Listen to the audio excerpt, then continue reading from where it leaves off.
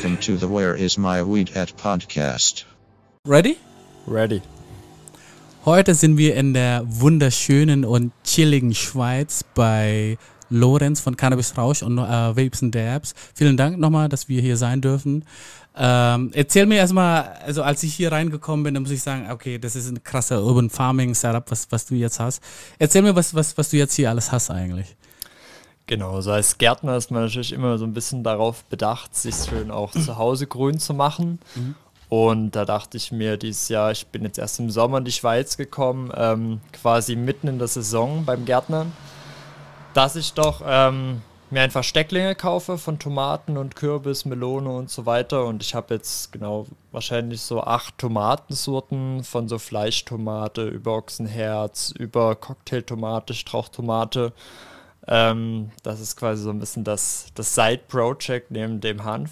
Okay, ah, du, du baust selber an sozusagen CBD, oder? Genau, also wir haben, wir haben auch ähm, einen, CBD-Anbau, aber davor kommt natürlich erstmal immer ähm, ein bisschen das normale Gärtner und dass man wieder reinkommt in den Modus und ja. sich an das Klima hier gewöhnen. Mhm. Ähm, klar, neben den Balkonpflanzen haben wir auch ähm, ein Hektar Feld CBD mhm. hier in der Schweiz ähm, in die Richtung. Also ähm, Richtung noch mehr Berge, also eine ja, wirklich traumhaften Kulisse haben wir da fast 3000 CBD-Pflanzen auf dem Feld stehen. Ähm, verschiedene Genetiken und wir wollen auch ähm, selber unsere Sorten quasi auf den Markt bringen, beziehungsweise wollen eigene Strains auch in Zukunft irgendwann kreuzen. Im Moment haben wir eine Selektion am Laufen. Also wir haben jetzt 150 Hanfsamen CBD ähm, gesetzt und die sind jetzt bei mir in der Wohnung im, im Nebenraum. Geil. also das ist etwas, was, was, in, was man in Deutschland einfach nicht machen kann. So, ne?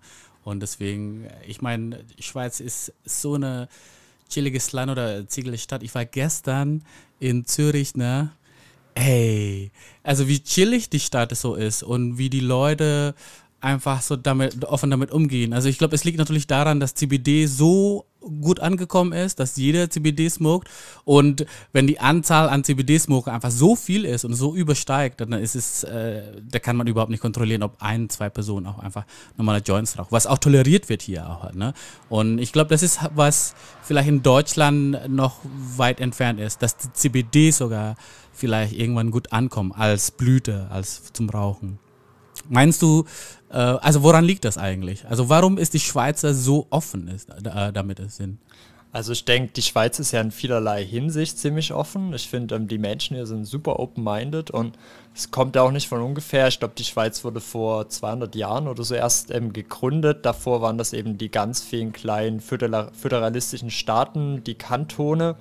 Ähm, und die haben sich ja erst ziemlich spät zusammengeschlossen als eine Nation. Das heißt, viele verschiedene Meinungen wurden schon immer toleriert in dem Gebiet hier. Und die Schweiz ist politisch neutral, das heißt für viele Volksgruppen von der ganzen Welt ist das ja auch ein bisschen ein Schutzhafen, wo okay. Menschen hinkommen, auch Flüchtige, die aus ähm, Krisenregionen stammen, aber auch Menschen, die sich weiterbilden wollen, verwirklichen wollen oder auch aus religiösen Gründen, aus diplomatischen Gründen. Die UN haben ja zahlreiche Organisationen hier in der Schweiz und bei Hanf ist das das Gleiche, so ein bisschen dieses ähm, Leben und Leben lassen Gefühl eben. Ja, Mann. So ein bisschen wie das spanische Lebensgefühl, was in deinen vier Wänden passiert, das geht den Staat erstmal nicht so viel an, solange alles für die Nachbarn friedlich bleibt. Und ich denke, die Schweiz ist da recht ähnlich, so dieses Leben und Leben lassen und man gönnt dem anderen seine Freiheiten und ist nicht so wie, wie in Deutschland vielleicht dieses ähm, Nichts gönnen manchmal oder dieses was der andere macht, ist eventuell ja. schlecht und ich finde da schon einen Grund dafür, dass das ähm, schlecht ist und dass ich jetzt die Polizei rufe, um meinen Nachbarn zu verpfeifen. ja. Das ist hier vielleicht ein bisschen mentalitätsmäßig ein bisschen anders. Aber Schweizer sind auch so multiple unterschiedlich. Also es gibt halt welche, die würden dich auch hier verpfeifen, wenn ja, du kiffst auf der Straße. Aber auf der anderen Seite, du darfst hier 10 Gramm haben und das darf die Polizei dir nicht mal wegnehmen. Wenn du nicht rauchst, dann äh, darf die Polizei dich kontrollieren. Damn. Egal, ob du 10 Gramm Dab, Wax auf Tasche hast, Ross und BHO oder wirklich 10 Gramm Blüten oder 10 Gramm Hasch, das ist egal, egal wie konzentriert das ist, 10 Gramm, das dürfen sie dir nicht wegnehmen. Warum nicht?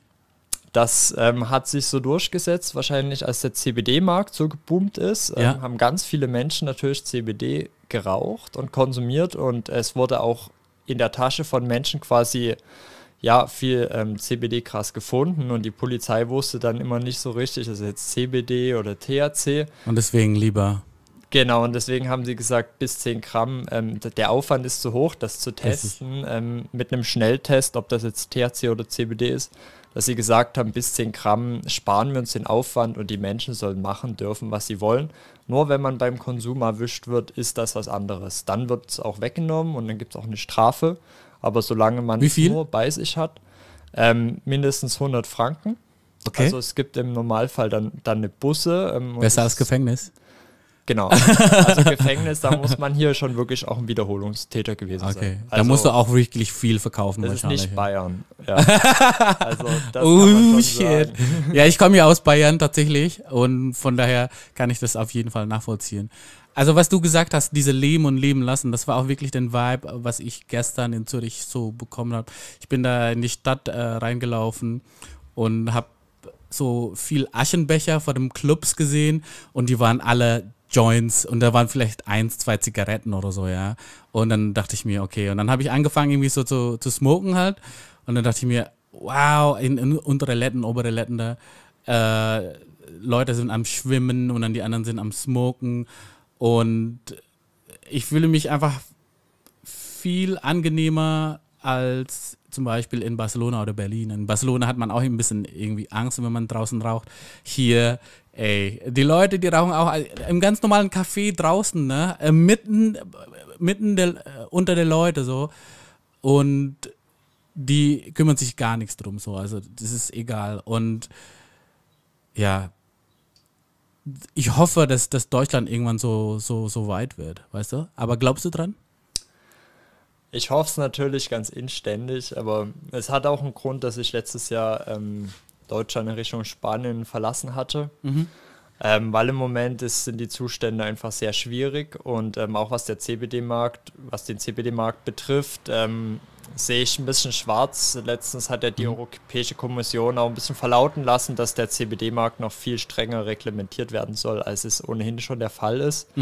Ähm, und das könnte natürlich einen starken Rückfall bedeuten, auch für Hanfbar oder Hanfnah und so weiter. Die ganzen Hanfläden, die Razzien Ja, hatten, die jetzt in die zweite, dritte Instanz gehen wollen, um irgendwann beim Bundesverfassungsgericht die Einzelnormenbewertung quasi neu durchführen zu können, ähm, wo ja auch der Richter Müller da das, die Richtervorlage hat. Ähm, nur denke ich rein von der Mentalität und äh, wie die EU im Moment tickt und wie das auch damals mit den krummen Gurken war, ich weiß nicht, ob du das noch weißt, ähm, da hat die EU quasi gesagt, die Gurke muss gerade sein, krumme Gurken sind nicht erlaubt für den Markt. Was? Und das, das Ehrlich haben, jetzt? Ja, und das haben, das war ein riesen, also ein Riesenthema in der EU. Das war in den Nachrichten hoch und runter gekommen. Das war so ein Symbolbild für wie die EU arbeitet, sage ich mal.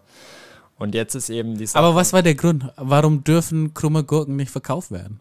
weil die, äh, wenn man die in die Kiste stapelt, letzten Endes, man bekommt mehr gerade Gurken rein als runde Gurken. Und das ist ja auch ein bisschen besser für die Umwelt, sage ich mal, wenn man jetzt nur gerade Gurken hat, wo mehr in die LKW-Ladung reinpassen als bei Ja. Krummgurken. Aber wenn die Krummgurken weggeschmissen werden, dann ist das Ist es genauso? ja. Und äh, so Oh ist Mann. mit dem CBD genauso. Die Staatsanwaltschaften, die wissen nicht in Deutschland, ob es jetzt ähm, legal ist oder illegal ist, weil der Gesetzestext, mh, er ist schon eindeutig, eigentlich ist es nicht legal, sage ich mal, aber auf der anderen Seite ist es halt auch wirklich nichts, was berauscht, so der CBD-Stoff. Von daher, ähm, der Staat, der weiß auch nicht so richtig, wie er agieren soll, aber letzten Endes, der Gesetzestext sagt schon eher, dass es nicht so erlaubt ist, sag ich mal, den Nutzhanf jetzt auch also zu konsumieren, weil das war eher wie Firmen gemacht wie BMW oder Daimler, die da quasi die Hanffaser in ihren Autos verarbeiten. Das heißt, jeder, der sich einen BMW kauft, der kauft auch irgendwie ein Hanfprodukt letzten Geil. Endes. So wie wenn ich einen Messmer-Tee mit Hanfblüten ähm, kaufe oder so, wenn ich CBD-Blüten kaufe, sind halt alles irgendwie Hanf. Nur der Staat, der ist nie davon ausgegangen, dass die Leute sich irgendwann mal davon berauschen wollen oder das konsumieren. Die sieht, der sieht ja gar nicht ein, dass es zu medizinischen Zwecken auch sein kann. Und Ja, solange sich dieses Bild nicht so richtig ändert, sehe ich da schwarz.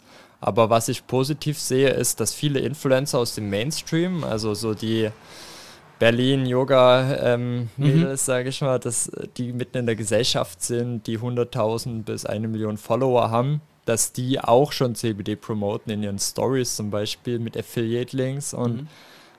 dass CBD eigentlich an Bekanntheit gewinnt, ist ja. klar. Ich finde es auch gut eigentlich, dass man zum Beispiel Cannabis eher auch in die, in die Gesundheitsschiene so, so pusht. Das finde ich auch gut, aber ich finde, jeder darf das Recht auch einfach auf Rausch haben, genauso wie der Richter Müller auch schon gesagt hat. Es ist ja genauso wie Alkohol eigentlich. Ich meine, wenn man zum Beispiel mit Alkohol da rumläuft oder irgendwo hingeht und dann äh, saufen geht, das wird ja auch toleriert und auch zele zelebriert. Und, zelebriert sozusagen. Und äh, es muss nicht so krass sein, aber ich finde es, ich kann einfach auch sagen, dass ich am Wochenende lieber zu Hause oder mit Freunden chill, einfach weil es mir Spaß macht. Und wieso soll das nicht akzeptiert werden, so wie wenn man ein paar Bierchen trinkt? Absolut, da bin ich bei dir, aber letzten Endes, ich denke, weltweit die wenigsten Staaten haben es wirklich so krass so legalisiert, ähm, wie wir es alle vielleicht gerne hätten, als ähm, überzeugte Konsumenten auch. Und selbst in den USA, also bei Messen zum Beispiel, mhm. man darf da nicht draußen rauchen, einfach kiffen, sage ich mal, mhm. oder in der Halle oder sowas. Das heißt, ja, ja, ähm, in Deutschland, in der Schweiz oder in Spanien, da darf man das halt schon eher, obwohl Gras eigentlich viel illegaler ist. Mhm. Aber wie die Gesellschaft darüber denkt und so weiter und welche Schubladen noch existieren, auch in den Köpfen von dem ganz normalen Bürger einer Nation. Das kann so schwierig beeinflussen, ja. Genau, und das ist ein ziemlich langer Weg. Und ich kann es auch verstehen, dass Menschen Vorbehalte gegen Kiffer haben, so, weil manche Kiffer werden halt wirklich faul und so weiter. Und Aber das sind auch genügend Leute, nüchterne Leute, die faul sind. Das stimmt, das muss man definitiv also, Oder Menschen, die gerne Bier trinken, die jeden Tag viel Bier trinken. Oder ja. klar, die gibt es in allen, in allen ähm, Schichten der Gesellschaft, solche Leute, aber der Kiffer wurde immer stigmatisiert, ja, immer klar. schon. Erst war es ein rassistisches Verbot und irgendwann hat man angefangen, ja, die sind faul und so weiter. Und wenn es eben bei manchen dann auch stimmt, das ist ja vielleicht wie bei Sternzeichen, dann mhm. macht das alles einen Sinn, sage ich mal. Klar. Also dann, dann denkt der normale Mensch, der nicht kifft, okay, Kiffer sind faul, ich habe hier ein, zwei Beispiele, die das bestätigen. Mein Weltbild ist nicht geändert, sage ich mal. ja, das stimmt, das ist auf jeden Fall äh, ein guter Punkt. Ähm, man braucht ja eigentlich nicht so viele Gründe, um, um Schweiz auch zu lieben. So, ne? Also ich meine, das Wetter ist geil, Landschaft ist geil, Essen ist geil, Menschen sind schön. Also da sind wirklich men äh, schöne Menschen unterwegs. Und auch so. nett. Ja, genau, in, in, in Zürich vor allem so. Und äh, was hat dich aber äh, in die Schweiz jetzt verschlagen? Sehr gute Frage. Ähm, eigentlich hat alles so ein bisschen mit Kiffen angefangen. Okay. Und zwar 2018 auf der Mary Jane in Berlin. So eine Hanfmesse in Deutschland, ziemlich groß. Größte in Deutschland eigentlich. Oder sogar die größte, ja. genau. Ist ja dieses Jahr leider nicht stattgefunden, aber dort war so ein heißer Tag. Ich habe dann ähm, mit meinem damaligen Partner von cannabisrausch.de mhm. ein Joint geraucht und okay. es gab keine Schattenplätze okay. und auf der ganzen Messe war mega warm und ich war mega verklatscht. und ähm, dann habe ich mir gedacht, okay, das ist echt ein brutaler Anfang für so einen Messetag, wo man ja eigentlich vielleicht noch ein bisschen was ähm, auch geschäftlich bewegen will für die Projekte, die man so führt. Und dann bin ich zum Stand von Weedmaps gegangen und dort war Vapes and Dabs, mein jetziger Arbeitgeber, und die ah. hatten dort CBD-Dabs ähm, vergeben. Was ich heute probiert habe. Genau. Ey, wirklich, geschmacklich. Orgasmus pur. Also wirklich gut auf jeden Fall, so weicht. Und ich glaube, das wird auf jeden Fall eine Richtung, wo ich mehr probieren mag. Ja, vielen Dank. Ey, das freut, Dabs, mich, ja. das freut ja. mich voll, dass dich auch so ähm, erfasst hat. Auf jeden mhm. Fall. Ich dachte damals auch so, boah, krass, ähm, neue Erfahrung. Ich habe CBD nie eine Chance gegeben, aber in diesem Moment dachte ich, so gut. Es war lecker, es war ähm, super temperiert, dieser Dab in dieser super teuren Dab-Rig, die damals mhm. ausgestellt wurde zum Benutzen von Vapes Dabs und ja, dieses CBD hat mich fokussiert, das hat meinen THC-Verklatsch halt so ein bisschen geklärt, das hat es wie weggedämpft und ich war wieder voll im Moment und ich fand es mega. Meine Kommunikationsfähigkeit Fähigkeiten haben sich wieder gesteigert. Geil. Ich habe mich wieder so ein bisschen mehr in meiner Mitte gefühlt und ähm, alles wieder tutti, so war alles vergessen, was jetzt mit dem drückenden Joint und so ne, da erstmal in meinem Kopf vorgegangen ist, den Messetag betreffend. Mhm.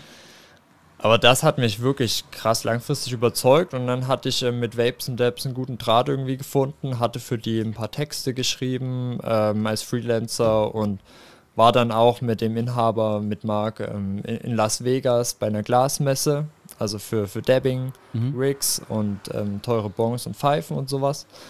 Ähm, genau, das heißt, wir haben uns dann immer mal sporadisch über Freelancer-Aufträge halt besser kennengelernt mhm. und dann war ich halt in Spanien am Grown und den Social Club gründen und das ist aus vielerlei Gründen mhm. ähm, zu einem schnelleren Ende gekommen, als ich mir das erhofft hatte und ein Grund ist auch vor allem, dass man THC Weed in Spanien eigentlich nicht vermarkten kann. Also das ist die einzige Hürde eigentlich im mhm, Grauzonenrahmen. Man darf keine Werbung für seinen Social Club und die Produkte und so weiter machen. In Amsterdam auch. dürfen die auch keine Werbung machen für den Coffeeshops. Genau, und die, die es machen, die machen es halt, äh, das ist halt shady. Das ist äh, absoluter dunkelgrauer Bereich und eigentlich illegal. Und Aber darfst du denn zum Beispiel oder darf ein Influencer oder ein Vlogger über einen Coffeeshop eigentlich berichten? Das darf er schon, da bin ich mir sicher. Gerade so okay, aber die dürfen nicht bezahlen dann sozusagen, ne? Da bin ich mir auch sicher, ja. Also sowas darf zumindest ähm, nicht ans Licht kommen. Okay. Ähm, aber Fakt ist, der Social Club in Barcelona, äh, in Mallorca, den ich da aufgezogen hatte, der hatte dann quasi für mich ein, ein gewisses Ende bedeutet, mhm. weil ich gemerkt habe, das, was ich hier machen wollte, an Tests und so weiter, Test Growth und ähm, entsprechend auch Vermarktung, ist gar nicht möglich. Und dann hatte ich aber eben ein recht zeitlich gut glücklich getimtes Angebot bekommen von Vapes and Dabs. Ob ich nicht ähm, in der Schweiz quasi jetzt mal für drei, vier Monate freelancen wollte. Mhm. Und das hat für mich zeitlich halt perfekt gepasst. Ich hatte dann noch in Mallorca ein, zwei Monate ein bisschen ja, ein relaxederen Freelancer-Lifestyle. Geil. Ähm, und dann ging es richtig los in der Schweiz eben, drei Monate. Hatte dann ein bisschen für den Glasladen hier ähm, Website betreut und Instagram und so weiter, ein paar Strategien neu eingeschlagen und mhm.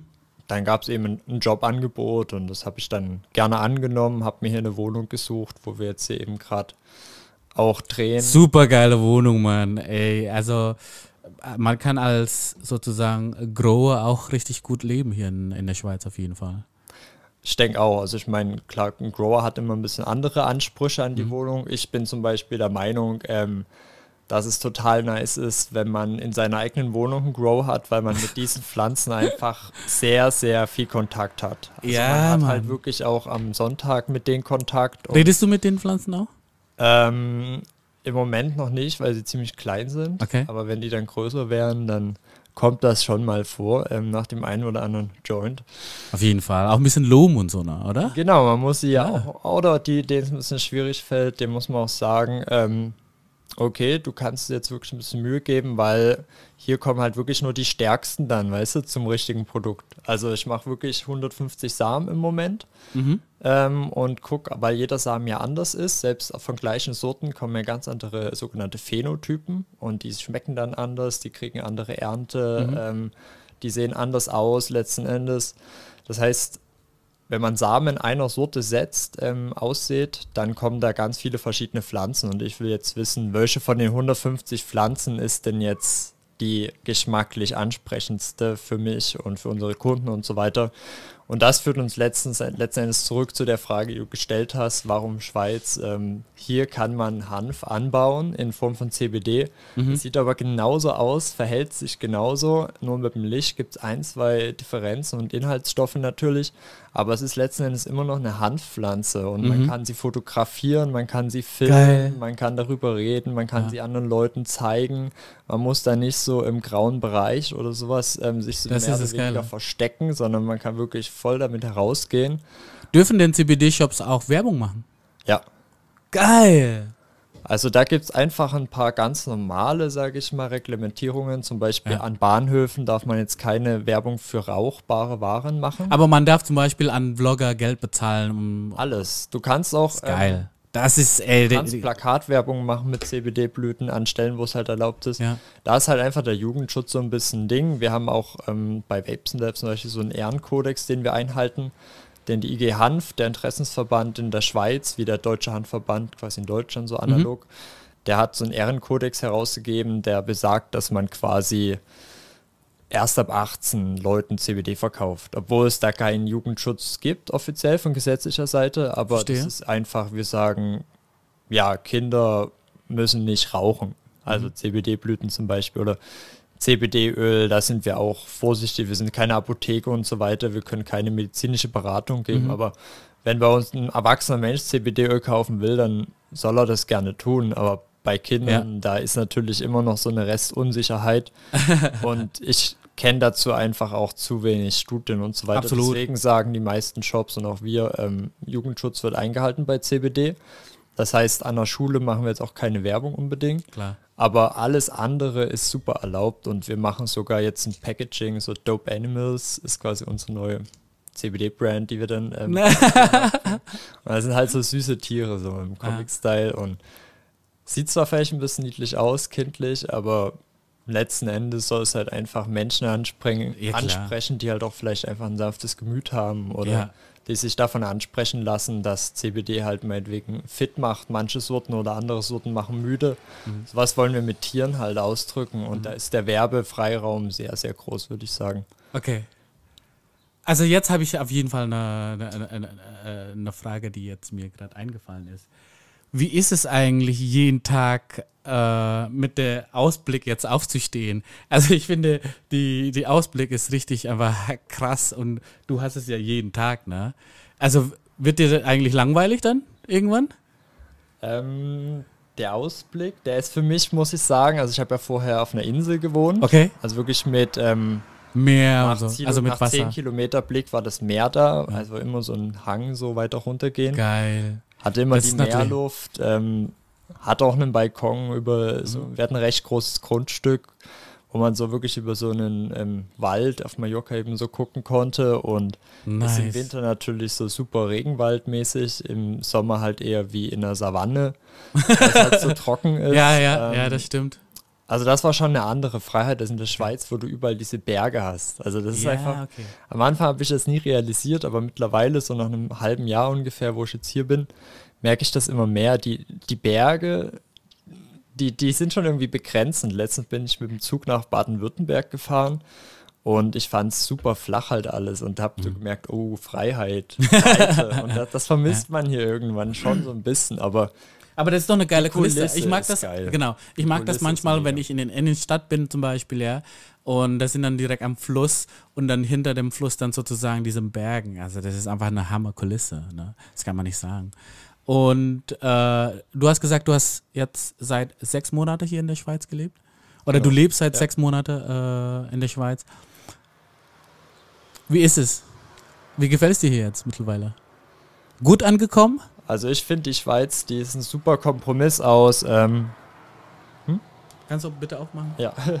Ich finde, die Schweiz ist ein super Kompromiss, äh, Kompromiss aus ähm, Lebensqualität und Preis-Leistung.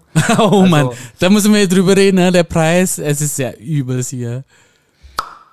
Aber letzten Dankeschön. Endes, ähm, die Preis-Leistung, die passt halt wirklich, weil man bekommt ja auch ordentlich was geboten in Sachen von ähm, Infrastruktur und so weiter. Also allein die Bergbahnen oder die Straßen, die Städte, äh, das Trinkwasser, die Seen, die Wasserqualität, äh, wie gut die Natur einfach instand ist. Ähm, ich denke, dafür bezahlt man hier einfach auch wirklich ein, ein Stück weit. Es ist unnormal sauber hier. Sehr sauber. Der, der Zürcher See, der ist so sauber, dass Es sind ist schon die, die Fischbestände zurückgegangen, weil da zu wenig Algen wachsen und so weiter, zu wenig Futter für die Fische vorkommt. Okay. Es ist zu steril quasi. Und ähm, wenn man sich vorstellt, wie durchlöchert dieses Land ist, aufgrund der Tunnel und so weiter, die, die Berge, also eigentlich ist ja die Schweiz voll im Zentralmassiv der Alpen Mhm. reingebaut. Das ist alles viel teurer, hier einen Kilometer Straße zu machen als in Deutschland. Und man hat auch Verstehe. mehr Kurven, viel mehr Tunnel, mehr Brücken, mehr Täler, mehr Berge. Alles ist irgendwie komplizierter. Und ähm, dann kommt noch dazu, dass die Schweiz früher eher so, so ein Bauernvolk war. Mhm. Das heißt, sie hatten keinen Kolonialismus betrieben, ähm, was ja auch sehr gut ist aus moralischer Sicht, finde ich. ja, auf jeden ähm, Fall. Sie hatten aber auch keinen Zugang zum Meer, weil sie sich nie zusammengetan haben, die vielen Stämme, sondern sie haben alle immer so gegen sich, gegeneinander so ein bisschen gearbeitet, gekämpft. Und erst mit Napoleon wurde eigentlich die ganze, ja, die ganzen Völker wurden dann erstmal so ein bisschen geeint. Verstehe. Und das setzt sich ähm, ja immer noch ein bisschen fort, ähm, dass eben die Schweiz teuer ist, weil sie ein ganz besonderes Wirtschaftsmodell gefunden hat durch die späte Entwicklung und ja auch mit Banken und so weiter ähm, sehr exotische Geschäftsmodelle weltweit ähm, wie angeführt haben. Ja. Ja, und jetzt ist halt alles irgendwie doppelt so teuer als in Deutschland, aber die Leute verdienen halt auch doppelt so viel Geld in Richtig. der Arbeit. Die Steuern sind viel, viel weniger hier. Ähm, die Sozialabgaben, Krankenkasse Ich weiß. für alle ist- ich habe Ähm. gestern, ich habe mich gestern mit einem Kumpel von mir unterhalten. Also ihr zahlt echt gut wenig Steuern. Genau, das ist auch wieder kantonal abhängig. Okay. Also ich zahle zum Beispiel viermal mehr Steuern als in einem Kanton, wo die Steuerlast sehr, sehr gering ist. Aber das ist okay, dafür differenzieren dann auch die Mieten wieder. Ich habe dann weniger Verstehe. Mietpreis, dafür andere haben mehr Miete und das ist total witzig, damit klarzukommen irgendwie mit Okay. den ganzen Preisunterschieden auch. Aber man kommt irgendwie aus halt, ne? Voll. Also die Schweiz ist äh, zu leben wie in jedem anderen Land. Spanien war halt extrem günstig. Also ich zahle jetzt für meine Wohnung zum Beispiel so viel, wie ich in Spanien für ähm, ja, 11 Hektar Land und 500 Quadratmeter Finca bezahlt habe. Und habe halt eine normale unter 100 Quadratmeter Wohnung so in Ist der geil. Schweiz. Ja. Aber zahl halt wirklich, also man zahlt halt wirklich Ja, für solche Sachen dann sehr viel, aber was man an Standard, an Bausubstanz und so weiter geboten bekommt, das ist auch auf einem anderen Level wie in Spanien. Das muss man halt auch dazu sagen. Ja. Ich finde es, die verwenden auch deren Fläche auch ziemlich effizient. Was mir zum Beispiel in Zürich sehr gut gefällt, ist, ähm, in Deutschland hast du ja meistens ein eigenes äh, Wohnhaus und dann haben die einen eigenen Innenhof und einen Garten sozusagen. Ne? Und hier hast du zum Beispiel mehrere äh, Wohnhäuser in, auf einer Fläche, aber die verwenden diese Fläche dann gemeinsam als großer Innenhof oder Garten. Also die grillen ja hier überall. Die lieben ja. Grillen und dann die sind näher, Verlieren. äh, näher am Wasser. Und deswegen, ich finde es einfach geil, durch Zürich einfach durch die Wohnungen oder die Wohnhäuser oder Wohnkomplexe einfach äh, durchzugehen und dann Du kannst da auch einfach smoken. Es ist einfach viel freie Fläche, die die Einwohner auch nutzen können, eben, weißt du? Wie am Fluss bisschen, schwimmen. bisschen mehr wie in China, finde ich, so die, ähm, die Wohnanlagen. Okay. Eben wie du sagst, man hat so Wohnhäuser und Ja. dann eher so ein Park, ne? So meinst du es? Genau, so genau. Park, wo dann alle zusammen chillen können. Ja. In Deutschland eben eher vielleicht etwas weniger Parks, aber dafür mehr Innenhöfe. genau. Aber ich finde es auch total schön, eben, dass hier die, die öffentlichen Plätze auch so super belebt sind. Also in. Rapperswil, so Kleinstadt, 40.000 Einwohner oder 30.000.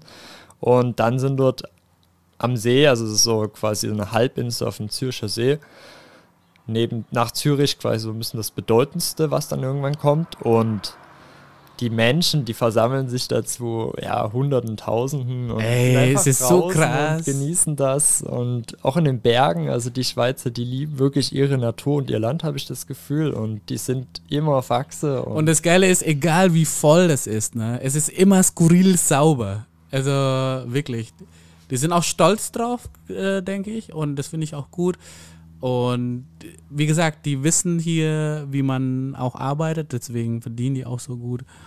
Aber die wissen auch ganz genau, äh, wie man das Leben genießt. Und ich glaube, das liegt auch daran, dass ihr so nah an der Natur seid. Ne? Also ich meine, in Zürich, wenn du jetzt ein bisschen rausgehst, kannst du dann direkt in Wälder auch gehen und so weiter. Also das heißt, du arbeitest viel, aber du hast auch viel Entspannungsmöglichkeiten in der Schweiz, oder? Auf jeden Fall. Also ich denke, ähm, was die Schweizer vielleicht gelernt haben, eben du hast gesagt, die arbeiten auch gut Mhm. und ich glaube, die Schweizer arbeiten auch wirklich viel und lange so in der Woche, Glaub viele ich. Stunden. Ähm, aber was sie gelernt haben, wahrscheinlich Spaß an der Arbeit auch zu haben. Also ich glaube, viele Schweizer haben auch so Jobs, gerade die jetzt so Unternehmer sind oder sowas, wo sie einfach voll auch gerne dabei sind und sie leben auch Geschäftsumfeld ähm, anders. Also da ist viel mehr Spaß dabei, viel mehr Freizeitaspekt, viel mehr sich kennenlernen und sich menschlich auch begegnen, als ich das jetzt in Deutschland gewohnt bin. Zumindest ist das jetzt hier in, in der Cannabis-Szene so der Fall, Mhm. in der CBD-Szene. Und ähm, das finde ich schon mal echt schön. Mhm. Aber andererseits ähm, habe ich auch echt gerade einen Faden verloren. was, was rauchst du hier eigentlich? Äh, das war der Windows äh, Hänger. Äh, ah, er Sound. macht den mal. Genau. genau, der Lorenz hat leider keinen Kopfhörer, deswegen kann er den Adlibs nicht hören. Aber genau. Äh, wann war es das letzte Mal, dass du, als du in Deutschland dann gelebt hast? Also ich glaube, du warst schon, du bist schon ziemlich lang ausgewandert, oder? Ähm, nee, es geht tatsächlich. Also ich bin halt letzten Sommer Mhm. endgültig Also nach, näher? Letzten Sommer bin ich endgültig dann ähm, nach Mallorca gezogen erstmal. Mhm. Dachte Wann? Letzten Sommer? Letzten Sommer erst, Okay. genau. Und dann diesen Winter halt äh, Januar in die Schweiz. Mhm. Ähm, also richtig in die Schweiz erst dann leider im Ende Mai, genau, Ende Mai, Anfang Juni, weil wegen Corona einiges noch drunter und drüber gegangen ist mit der Einreise. Oh Mann, ja stimmt. Erzähl mal, du hast ja dann, also ich glaube, du warst in der, in der Presse auch hier, oder? Genau, also wir sind halt, ähm, wir wollten am 1. April, am Aprilscherztag, wollten wir in die Schweiz umziehen, einreisen. Ähm, ich hatte schon so einen äh, VW-Bus gepackt mit Umzugsgut und so weiter und war dann an der Schweizer Grenze ziemlich ähm, perplex, als uns niemand reinlassen wollte wegen Corona, weil wir Damn. hatten einen Mietvertrag, einen Arbeitsvertrag, aber keine Aufenthaltserlaubnis oder Genehmigung. Und die wurde damals aber auch nicht ausgestellt wegen Corona, weil niemand ins Amt gehen sollte, um da irgendwas abzuarbeiten. Damn. Das heißt, wir hatten keine Möglichkeit quasi, um uns dort, ja, um uns dort irgendwie die Papiere zu organisieren, die wir brauchten, um einzureisen. Und wir hatten Ja. schon eine Wohnung angemietet und so weiter, die lief und Vertrag lief alles schon, Arbeitsvertrag, alles hätte telefoniert werden können, aber genau, ich kam dann leider nicht halt in die Schweiz rein und ähm, musste dann zwei Monate lang in Deutschland stranden und ich dachte jedes Mal, ja, morgen könnte es ja soweit sein. So, Wo warst du denn dann die ganzen zwei Monate? Bei Freunden in Rottweil untergekommen. In einem Damn, Haus, ähm, zwei Monate. Sehr schön, aber das ist schon hart so nicht zu wissen, wann geht's weiter und mit dem ganzen Umzugsgut und so weiter. Und dann hatte ich halt überlegt, okay, vielleicht mal mit der Presse versuchen, einfach seinen Teil zu geben, wenn man Ja. sowieso schon in der Medienwelt unterwegs ist, Ja. Blogger ist und so weiter, da weiß man ja ungefähr, wie das so tickt. Und da habe ich halt dann einen Termin klar gemacht, ähm, wo wir an der Grenze quasi befragt wurden ähm, über die Situation, warum es jetzt nicht rübergeht. Und die Schweizer Presse fand das halt auch super skurril, diesen Fall, so dass man nicht rübergelassen wird, trotz Mietvertrag und Arbeitsvertrag. Das finde ich dann eben skurril. Ich meine, ihr seid ja keine Touristen. Eben, genau. Und das muss man ja ganz klar mal benennen, dass man ja quasi ein Schweizer Unternehmen auch unterstützen möchte, quasi, dass man dann dort ist, weil die brauchen halt manchmal Leute, die aus dem Umfeld kommen, wo jetzt im Ort, wo der Arbeitsplatz wäre, niemand zu finden ist mit den Qualifikationen. Und klar, dann muss halt jemand kommen und es war halt auch schwer dann für den Job und so weiter so weit weg zu sein die ganze Zeit. Also wirklich nur ja, eigentlich einen Einzelhandel nur so von Ferne zu betreuen, das ist schon ein hartes Stück. Ähm, da gab es zum Glück dann einiges an der Website so zu machen, aber das ist schon krass einfach so von Deutschland und der Schweiz und Ja, der ganzen europäischen Gemeinschaft gewesen, wie ja die Corona-Grenzschließungen einfach Ja. durchzusetzen sind und das war schon eine harte Zeit, da in Süddeutschland zu stranden und bei Leuten, wo man erfährt, dass viele, viele, viele schon ihren Führerschein verloren haben, weil dort die Polizei so hinterher ist, ähm, Kiffer zu verfolgen. Und Ja, das ist schon ein krasser Schritt, wenn man aus Spanien kommt. So. Und, Ja, Vermisst du jetzt eigentlich Deutschland manchmal? Ähm, noch gar nicht. Also ich, ich habe auch so Okay. Bauchschmerzen, wenn ich dran denke, oh Weihnachten vielleicht mal die Familie in Deutschland besuchen. die, die hat mich dann eher im Ausland besucht. Aber wieso dann Bauchschmerzen? Ja, weil so diese ganzen Erinnerungen auch so an diese ganze Polizeipräsenz und so weiter. Ich habe da echt so, ich weiß nicht, ich habe in einem Radius gelebt an der Grenze, wo die Polizei dich verdachtsunabhängig ähm, untersuchen darf. Und mir ist nie Damn. was passiert. Aber Welcher dieses- Bundesland warst du denn? Sachsen. Also, Sind die so krass? Ich dachte, Ja. die sind also an der Grenze ist schon krass so Raum Dresden und in Richtung tschechische Grenze. Dresden liebe ich übrigens. Ah, vielen Dank. Also ich liebe es auch, deswegen vielen Dank. Boah, Dresden, als ich das erste Mal, ich habe ja mal damals so äh, halt so Bier verkauft und dann bei einem Barbershop in Dresden. Das erste Mal, als ich da liefen musste, dachte ich mir, äh, das war in Berlin, äh, in Dresden Neustadt. Berlin. Nice. Neustadt, wollte ich sagen. Es war in Dresden-Neustadt und es war im Sommer, ne? Und äh, irgendwann abends, Prost, Cheers. Auf Dresden, Neustadt. auch Dresden-Neustadt, ja. Und äh, die Leute waren dann einfach draußen so am Chillen und dann die Autos können noch nicht mal durchfahren. Also geiles Vibe einfach. Da gibt es auch Straßenbahnstreichler. Ja, genau. Das ist, das ist einfach äh, sehr eine coole Stadt. Aber dann auch, dann, wenn man zum Beispiel in die Innenstadt geht und dann am Zwinger, also wunderschön. Also an der, an dem, wie heißt da der Fluss der da? Die Elbe. Die Elbe, genau, sorry. Äh, da so auch einfach rumsitzt, das ist einfach krass. Was ich aber auch am krassesten finde bei Dresden ist, ich bin dann mit dem Bus rumgefahren, oben, wo die Villen sind. Ey, was geht da ab? Was für Villen habt ihr da in Dresden? Das ist so, so echt krasse Villen, wo man eigentlich nur wie Filmen sieht. Also, Ja, das ist wirklich enorm, ja, schon eindrucksvoll, so an den Elbhängen eigentlich, Ja. wie äh, wirklich ja, neue und alte Architektur so zusammenspielt und aber vor allem auch viel so Jugendstil und so weiter aus der Epoche mhm. da wirklich noch steht und auch renoviert wird. Das ist schon echt schön und dazwischen die, die Weinberge und sehr, sehr viel barocke ähm, Architektur. Ich bin ähm, nach der Schule direkt nach Baden-Württemberg gegangen, ähm, um dort äh, Wirtschaftsinformatik zu studieren, bei Lidl, ähm, Kaufland so mäßig, ah, okay. ähm, dual, aber habe dann irgendwann wieder den Weg zurückgefunden nach Dresden ähm, für den Gartenbaustudiengang. Gibt es eben in Dresden eine von sechs Möglichkeiten oder so in Deutschland, wo man das studieren kann und allein dieser Campus dort wirklich umgeben von so alten Barockgärten, also riesige Geil. Dimensionen, die auch heute noch bepflanzt werden und wo seltene Pflanzenarten schon damals aufbewahrt wurden. So in so einem Umfeld irgendwie aufgewachsen zu sein, ohne eigentlich nie, also ich war nie mit Pflanzen in Berührung als Kind oder sowas. Mhm. Ich habe das früher nie so wahrgenommen, aber ich bin zurückgekommen, weil ich gemerkt habe, krass, hier ist eine Identität für Pflanzen ver verwurzelt so in der Region und ich wollte da, ich wollte halt Gartenbau studieren irgendwann wegen Cannabis einfach Aber also, also das heißt, und deine Faszination für Pflanzen ist eher wegen Cannabis am Anfang sozusagen. Total. Also als Okay. ich mit dem Bloggen angefangen hatte bei Cannabisrausch Mhm. damals, ähm, cannabisrausch.de, habe ich 2017 mit angefangen mit äh, einem Partner, mit dem es dann irgendwann auseinandergegangen Mhm. ist. Ähm, das ist jetzt in neuen Händen, jetzt bin ich auch wieder am Projekt dran. Aber als ich damals geschrieben hatte, während ich Wirtschaftsinformatik studiert hatte und ich hatte dual studiert, das heißt, man musste in jeder Vorlesung pflichtmäßig anwesend sein.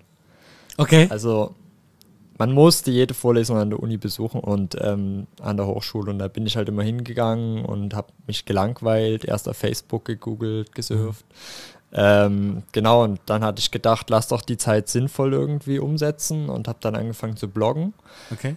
In der Zeit, weil das kann man ja unauffällig machen in der Uni, bloggen. ja, Und Das absolut. habe ich mir nie abgewöhnt. Selbst im Gartenbaustudium habe ich zu, zu interessanten Vorlesungen eigentlich ähm, oft nur geblockt dann, weil ich das noch so drin hatte. Geil. Und, ähm, ja, dann hatte ich halt mega Lust bekommen auf Pflanzen, weil ich gemerkt habe, die Quintessenz bei Cannabis ist gar nicht so die Kultur, ist schon die Kultur, aber das eigentlich ja nur drumherum. Also ich habe mich nur für die Kultur eigentlich interessiert, für Politik, für Legalisierung. Ich war Mhm. damals auch bei den Grünen, habe 2017 war das, glaube ich, Wahlkampf sogar mitgemacht. Ähm, so eine Kampagne eben bei den Grünen und ja, mich hat es interessiert gesellschaftlich, diese Pflanze. Also was denken die anderen darüber, weil für mich war das schon was Krasses zu entdecken als ähm, so junger Erwachsener. Diese Absolut. Pflanze. Ich habe erst auch mit 18 angefangen zu kiffen, aber als ich das dann bemerkt habe, was das für ein Potenzial hat und wie sich meine Neurodermitis dadurch total in den Griff bekommen Ah, lassen hat, tatsächlich, okay. ähm, zum Beispiel war ich so fasziniert und habe mich sehr damit beschäftigt, auf medizinischer Ebene auch, also auch was das mit den Neurotransmittern macht und welche, ähm, ja, welchen Stellenwert das Cannabinoid-System in unserem gesamten Körper einnimmt, welche anderen Schnittstellen davon betroffen sind. Das war eher damals so mein Fokus, aber später habe ich ähm, ja gemerkt, die Pflanze ist das Geheimnisvolle, das Spannende und ich bin ja- ich kümmere mich schon gerne um Sachen. Mhm. Aber ich glaube, Pflanzen sind so, wo ich mich echt gerne kümmere. Also Okay. lieber als jetzt irgendwie wirklich nur einen Online-Shop bespielen mit Produkten und Texten und zack, zack. Ich meine, man sieht es ja, ne? Also, dass du gerne pflanzt sozusagen. Genau. Also ungefähr seit einem Jahr habe ich das für mich entdeckt. In Mallorca hatte ich halt 130 Pflanzen hochgezogen. Oh. der Gattung Cannabis sativa L. Ähm, Das war schon ein besonderes Erlebnis, Outdoor. Aber du, du hast nicht alleine gemacht, oder? Ich habe es alleine gemacht. 130 Pflanzen alleine, das ist ja, es ist krass, oder? Also ich weiß nicht, was das normale Verhältnis ist. Ja, also es, es passt schon so. Gegen Ende hatte ich halt am Tag so fünf, sechs Stunden Arbeit, weil ich einen Befall hatte von Hanfspinnerraupen. das ist ein Schädling, der sich eben dort besonders vermehrt, wo Okay. ähm, Hanf in großen Mengen angebaut wird. Und in Mallorca, in Spanien, fast jeder baut da Hanf an. Eigenbedarf. Da ist gar nicht so der Dealermarkt im Vordergrund, sondern es ist halt auch so, dass viele Leute zu Hause ein Homegrow haben ne? und ihren eigenen Bedarf damit decken. Richtig, richtig. Und das heißt, Hanfspinnerraupen haben da viele Fress. Fress. ähm, Buffet. Vorräte, genau, Buffet quasi, Mallorca oder Spanien. Und ja, haben halt ein super Angebot und auch bei unserer Plantage sich halt super gut bedient. Also ich nenne es jetzt mal Plantage. 130 Pflanzen ist jetzt auch nicht so groß. Ne? Wir haben erst im Juli Doch. angefangen, ähm, die zu setzen. Das heißt, jede Pflanze hatte jetzt nicht so viel Ertrag, wie man es aus Kalifornien kennt von den Büschen, sage ich mal, weil wir Okay. eben erst Ja, im ja, Juli okay. gesetzt haben und aussamen, weil wir da angefangen hatten. Und vielen Dank.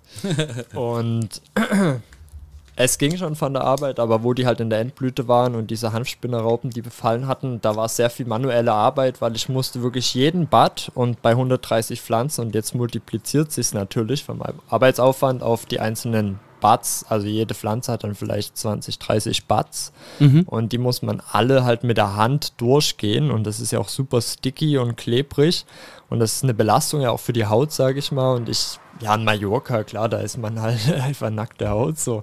Und geht durch die Das Hand knallt auf jeden Fall. und das ist ja eine krasse Kombi, so Mücken und Terpene, Terpene von den ganzen Pflanzen, wo man die ganze Zeit reingreift, also das juckt wirklich krass die Haut und ähm, man muss auf jeden Fall sich auch krass reinigen danach, damit man im Bett dann nicht auch noch das Krabbeln hat. Wow. Weil, genau, diese Hanfspinnerraupen, die, äh, die, die bohren quasi ein Loch in den Stamm oder in den Ast von Hanf und damit wird die Wasserzufuhr von dem Bad, der über dem Loch ist, unterbrochen. okay. Und dadurch gammelt der weg. Nach zwei Tagen ist der quasi braun und fällt dann einfach so ein bisschen ab. Den muss man dann wegnehmen, damit der Schimmel sich nicht verbreitet. Also Mhm. ist quasi wirklich Schimmel und ja, deswegen muss man da die Raupen quasi frühzeitig entfernen, weil das Mittel, was ich hatte, Bacillus thuringiensis nennt sich das, das wirkt erst nach vier Tagen. Das habe ich gespritzt. Das ist ein, ein Pilz, glaube ich. Also auf jeden Fall ein biologisches Mittel. Und das ähm, greift die ähm, Hanfspinnerraupenlarven so an, dass die quasi, also es geht ja wirklich um die Larven, nicht um die fertigen Schmetterlinge. Weil die Larven, wenn die schlüpfen, die brauchen was zu essen. Und da gehen die das Verstehe. und die sind quasi in den Blüten, werden die Eier gelegt und dann schlüpfen die dort und essen halt Blüte oder Stängel am liebsten.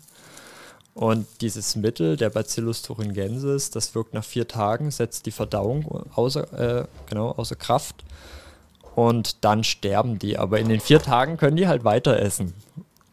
Das heißt, an Oh, der Stelle stimmt. macht Gärtnern halt Arbeit, wenn man ein Risiko nicht wirklich ernsthaft bedacht hat, wie ich jetzt mit den, mit den Raupen, das war mir ne, gar nicht auf dem Schirm, ähm, dann ist man da nicht präventiv darauf vorbereitet, wenn es soweit kommt oder dass man sogar vorher Maßnahmen ergreift, die es nie dazu kommen lassen werden, wie Pflanzen oder andere Viecher da aussetzen, die die eben fernhalten ne? Mhm. oder die die fressen zum Beispiel. Alles nicht gemacht. Das heißt, wenn man einen Faktor in dem universellen Universum eines Grows quasi außer Acht lässt, dann kann man viel Arbeit bei der Fehlervermeidung oder bei der Verstehe, okay. Schadensbegrenzung quasi. Da Also kann die, man die, viel die Risikominimierung sozusagen. Genau. Wenn man, also wenn man die Risikominimierung nicht im Vorfeld gemacht hat, dann muss man während des Grows viel Zeit investieren. Okay. Bestes Äh, Beispiel vielleicht eine Bewässerung. Ich hatte damals Mhm. noch keine Bewässerung, weil alles halt auch ein bisschen schwierig zu erschließen war natürlich. Und wenn man jetzt zum Beispiel ein Bewässerungssystem einsetzt, dann braucht man vielleicht fünfmal so viel Zeit wie oder so wie wenn man fünfmal gießen würde per Hand, um das System zu installieren. Ja. Aber danach muss man es nur noch anschalten und es flutscht von alleine. Das heißt, man hat dann den Aufwand nicht mehr. Verstehe. Das heißt, ähm, viele, die jetzt mit Hand gießen zum Beispiel und ähm, einen großen Grow haben, die machen sich das Leben halt ziemlich schwer oder investieren zumindest sehr viel Zeit in alleine diesen Okay. einen Prozess. Und so ist es auch mit den Schädlingen. Wenn man vorher einfach irgendwo bestellt, Viecher bestellt, die die Schädlinge fressen, Nützlinge, dann hat man mal kurz Zeit investiert, um später viel Zeit zu sparen. Okay. Und deswegen, weil du gefragt hast, ob man es alleine schafft oder sowas, wenn man gute Prozesse hat, die eben dem gerecht werden, was man selber Mhm. an Zeit und Human Resources zur Verfügung hat und was die Pflanzen brauchen, sage ich mal, und das gut zusammenbringt, dann kann man sehr zeiteffizient growen. Mhm. Okay. Du hast ja, also du lebst jetzt in der Schweiz und du hast auch in, äh, auf Mallorca auch was gebaut. Und du hast vorhin kurz vor dem Podcast mir auch kurz erzählt, du warst in den USA. Was hast du da gemacht? Das erste Mal in den USA war ich ähm, durch Cannabisrausch, so im Urlaub eigentlich. Wir Mhm. Okay, das geil, halt, ähm, geiler Urlaub. gesponsert bekommen und waren halt drei Wochen in Kalifornien. Ähm, Nice. Einen Roadtrip gemacht. Mhm. Gibt es auch coole Berichte auf unserem Blog, wo wir Mhm. zum Beispiel eine Fotostrecke in einer riesigen Farm gemacht haben. Geil. Also war schon ein bisschen Businessurlaub, klar. Aber wir haben uns da alles Mögliche angeguckt und wirklich eine der größten Farmen, die es damals in Kalifornien gab, 2018, wo es ja au- auch erst legalisiert wurde, haben Mhm. wir besucht. Ähm, das war für mich Wahnsinn. So, das war wirklich ganz kurz ich. vor meinem Gartenbaustudium. Und so alles richtig Das ist gemacht. Motivation, ne? Genau, das erwartet dich. Fuck, krass. Ja. Viel krasser als erwartet. Und Ja. ja, und dann waren wir dort und haben die Natur gesehen und wir waren in San Francisco bei einer super coolen Designerin und da das Wochenende verbracht quasi. Die hat uns alles gezeigt. Ähm, die hat uns quasi, die hat quasi ein, so ein Influencer-Weed-Event gehostet bei sich im Backyard. Die hat so in äh. San Francisco ganz oben gewohnt. Ähm, mega Was hat er gemacht? Umstände. Ähm, die Oder was macht er? Designerin. Okay. Designerin, aber nicht erfolgreich oder sowas. Auch eine mexikanische Einwanderin. Okay. Aber die macht einen super krassen Stil und alles. Also Green Gardens SF, könnt ihr bei Instagram ähm, gucken. Der hat uns damals da eingeladen und ähm, hat so ein Event gemacht für Influencer, hat da quasi nur Infused gekocht, asiatisch. Wow. Das Haus mit einer vierköpfigen asiatischen Familie so. Okay. Ähm, also War lecker? war mega lecker und war Okay. auch mega ähm, ja, heady, sage ich mal. Ja. Und ja, wurde so viel geraucht. Da habe ich das erste Mal in meinem Leben so einen, einen Kiff-Exzess gehabt. also mit, mit einem geilen Niveau in Deutschland, klar, wenn man Kiff-Exzess hat, Ja. da hat man halt mal 50 Gramm, so eine Runde oder so. Okay. Mein, mein Bruder hat mir das ein paar Mal erzählt, so dass das so da abläuft. Aber dort war das anders. Ähm, in Amerika, in San Francisco, da wurden halt mega die dicken Joints mitgebracht Ja, von Mann. aber Growern, die ihr eigenes Zeug mitbringen. Klar. Also den guten Shit halt. Ähm, und krasses Hasch noch in die Joints reingemischt oder andere Konzentrate und nur so Leckereien oder so Pre-Rolled mit außen noch so Scuff dran oder ja, die, die, die, dieses Ding halt und Debs genommen und so weiter und dann infused gegessen. Das heißt, das war so für mich die erste Erfahrung, so, boah, wie vollkommen Cannabis ist. Alle machen mit, jeder hat so sein Level. Ich habe es ziemlich weit getrieben an dem Tag. Geil. Andere haben halt eher so gesagt, okay, I'm good. Und ähm, man lernt da so witzige Leute auch immer kennen. Ja. Und das war für mich so wirklich Amerika. Also ich wollte nie nach Amerika. Das war für mich so ein schwarzer Fleck, genauso wie aber auch Mallorca und die Schweiz irgendwie. Ne? Mallorca wegen Ballermann und die Schweiz wegen teuer einfach. So Das kann ich vollkommen nachvollziehen, auf jeden Und Fall. äh, so habe ich halt auch über Amerika gedacht, plus da noch die ganzen rassistischen Sachen, Waffengewalt und so weiter. Also total unattraktiv so Mhm. Ja. von der ganzen Ja. Lage. Aber Kalifornien ist auch anders. Das stimmt. Und wir waren Natur dort, ich war dort wandern, ähm, wir haben dort Weed geraucht. Ich habe gemerkt, dort ist gar nicht alles Weed so lecker, so äh, muss man schon auch danach suchen. Mhm. Gibt es halt auch viel Gutes, äh, wenig Gutes, aber auch viel? Schlechtes halt, also Okay. viele Myths, sage ich mal. Gerade in der Dispensary ist echt schwer, da wirklich Gutes zu finden. Okay. Das ist eher, glaube ich, immer noch auf dem Schwarzmarkt, was da Okay. stattfindet. Ähm, wo man das Gute dann bekommt, weil die, die gut grown, sage ich mal, die haben kein Geld übrig ähm, in ihrer ganzen Wirtschaftlichkeit für irgendwelche Steuern oder Taxes. Mhm. Das heißt, ähm, jemand, der Steuern zahlen kann, der muss schon auch irgendwie effizient arbeiten, mit wenig Personal und wenig Liebe, wenig Leidenschaft. Ähm, Ja. So sind halt die Maßstäbe dort gesetzt. Ja, aber klar. mir hat sich dort so vieles wirklich erschlossen und dann war ich später nochmal in Nevada, in Las Vegas, bei der Glas Vegas, so eine Glasmesse ähm, mit Marc eben von Vapes and Dabs und habe da 15 Glasbläser interviewt und viele andere kennengelernt und habe auch da wieder gemerkt, so, boah, wie die quasi Weed verstanden haben. Die Ja, haben quasi Mann. in ihrer Kultur ähm, etabliert, in ihrer Dealerkultur, dass man große Mengen Gras ähm, einfach nicht mit Bargeld eintauscht, sondern mit Headyglas, mit Glaskunstwerken, mit Dabricks, Pfeifen und sowas. Cool. Weil die haben einen Wert, der ist stabil und da gibt es überall in den USA, sage ich mal, auch einen Käufermarkt. Ähm, Das also stimmt. Eine Nachfrage. Und, was für ähm, Preise die da auch herrschen. Genau, was für Preise, aber in allen Lagen. Das heißt, du kannst 50 Gramm mit äh, Glas kaufen, aber auch 1000 Gramm so. Oder Ja, 10 genau. Kilo. Und ähm, wenn bei einer Razzia nämlich damals, als alles noch anders war, bei jemandem zu Hause halt ein krasses Glaskunstwerk steht, so, da macht die Polizei nicht so ein Auge drauf, wie wenn da eine Sporttasche mit 50-Dollar-Scheinen in kleiner Bündel, äh, Stückelung und so weiter, ne, ähm, rumliegt. Das heißt, Glas wurde als universeller Wertgegenstand irgendwann so ein bisschen Wie gehandelt. Gold sozusagen. Ne? Ja, wie, wie Gold, absolut. Und ich habe das selbst erlebt, so eine Handel. Also da bringt jemand seine Dabs mit, vielleicht sogar aus einem Staat, wo es gar nicht legal ist, Handgepäck, Flugzeug, landet dann in Las Vegas, packt sein Sortiment aus und dann kommt jemand und sagt, ey komm, du kriegst meine Pfeife. Sieht geil aus, oder? Und, und der, der Dab verkauft dann, ja, sieht auch geil aus, oder? Und ähm, dann ist es für die okay. Und der Dab Verkäufer quasi, der die Dabs mitgebracht hat, der reist dann woanders hin und kann da das Glaskunstwerk wieder gegen Geld zum Beispiel auch eintauschen. Richtig. Und das ist ja so mega witzig. Also so einfach Subculture. More Subculture is Geil. not possible, I don't know. Geil, auf jeden Fall. Und ich finde, es gibt ja auch geile, geile Rigs oder Dab Rigs. Also, äh, kurz zur Info: Wir haben auch ein Video heute äh, im, beim Vapes and Dabs äh, gedreht und wir haben auf jeden Fall die cool, also die Top Dab Rigs, die ihr habt sozusagen. Ne? Und ich kann wirklich empfehlen, äh, das anzuschauen. Also, die, Pri die, die, die Preise sind ja teilweise echt recht hoch halt, ne?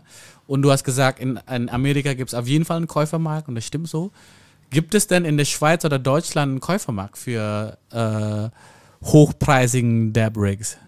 Ähm, leider nicht. Und, Okay. und da kann man schon da anfangen, dass die deutschen Künstler, wie zum Beispiel Merlin Glas oder Frank Fleischer, Smurfert Glas, Bada Bing und wie sie alle heißen, dass sie nicht mal ihren Lebensunterhalt rein vom Glas quasi bestreiten können. Also Ah, sie schade. müssen anderen Jobs nachgehen, wie zum Beispiel an der Uni oder sowas, Glas, ähm, Laborteile oder sowas fertigen oder eher die Richtung, weil es zu wenig Nachfrage gibt, selbst für die Künstler. Und viele kaufen halt auch gerade im Kiffer-Universum, wo jeder so mit jedem auch irgendwie verbunden ist, wenigstens durch soziale Medien, so habe ich schon das Gefühl. Aber Dabbing ist auch noch nicht Ähm, so, so, so krass angekommen halt. Genau, Ne? erstmal fehlt quasi die, ja, die Etablierung in Europa von Dabbing, also vom Konsum von Cannabiskonzentraten und auch vom tabakfreien Konsum, Mhm. was halt auch noch dazu kommt, dass hier Tabak so eine Rolle spielt und da haben Dabs halt nicht so die ja, Berechtigung, weil Dabs nimmt man ohne Tabak ein. Und da fehlt vielen der Flash quasi, sollten wir vielleicht überlegen, mit Nikotin sowas noch zu verfeinern. Uh, Nikotinkonzentrat. Aber Oh, das, wäre so das ist schnell. echt eine gemeine Vorstellung, wenn man Ja. drüber nachdenkt. ist einfach Asphalt und Teer, alles drin. Äh, ähm, Konzentriert. Ja, ich denke, ähm, der Dabbing-Markt ist noch zu klein an sich, aber auch das Interesse an der Glaskunst. Also es sind krasse Künstler in Deutschland aktiv, die sind wirklich krass, auch auf dem Weltmarkt gesehen.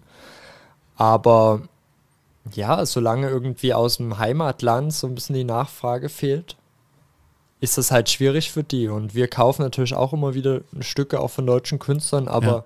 es ist jetzt nicht so, dass die auch wieder zack, zack, zack ähm, jetzt verkauft werden, sondern Ja. es ist eher so, ja, mal schauen, vielleicht ähm, will irgendwann gucken jemand halt, ne? Ja. Glaskunst kaufen können in Europa und das recht gut, simpel, kann er vorbeikommen in die Schweiz, kurz äh, Aufenthalt, ähm, verbinden mit ein bisschen Urlaub, ist ja eigentlich alles möglich und so war, ist es ja eigentlich gedacht, diese Glasgalerie, die äh, Marc, mein Chef, da aufgebaut Mhm. hat, so ein Showcase-Room, dass man sich auch wirklich die Kunststücke angucken kann. Mhm. Man hat die Möglichkeit, wenn man möchte, das nochmal zu checken und das finde ich extrem cool an sich, edel halt, aber es ist nicht so, dass das wirtschaftlich Sinn macht. Das ist eher so eine ideologische Sache.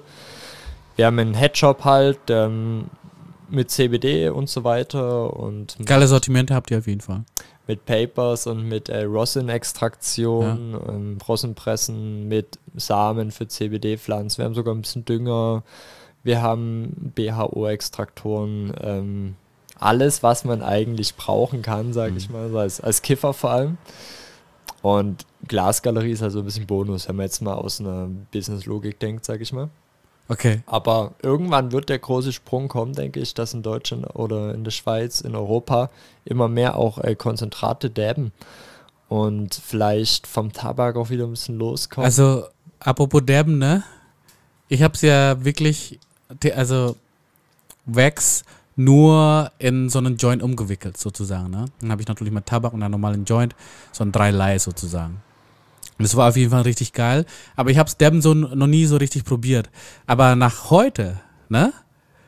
Was für ein Geschmack daraus kommt. Ich habe mir wirklich auf dem Weg überlegt, okay, ich kaufe einen Dabrick. Also ich, ich werde auf jeden Fall in der sehr nahen Zukunft äh, derben, auf jeden Fall.